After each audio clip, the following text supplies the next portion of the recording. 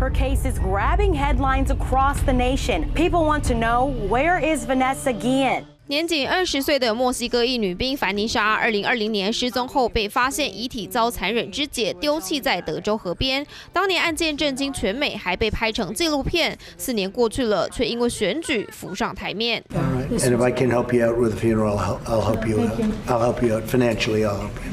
当时的美国总统川普在白宫接见死者家属，承诺要资助丧礼费用。但二十二号《大西洋月刊》报道，川普拿到账单后大发雷霆。Answered. Yes, we received a bill. The funeral cost $60,000. Trump became angry.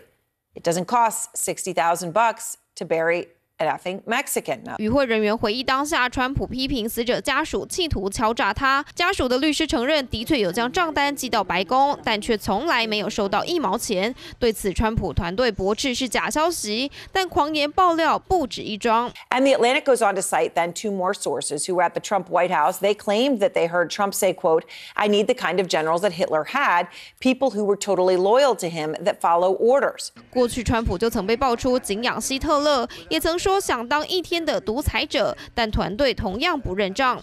不过，尽管歧视言论满天飞，选民似乎就爱这一位。根据《经济学人》二十二号最新预测，尽管在普选的基础上贺锦丽占尽优势，但以选举人票来看，川普胜选几率拉高到百分之五十四，首次逆转贺锦丽的百分之四十五。随着时间逼近，美国民众的心却更加难以捉摸。三立新闻双报道。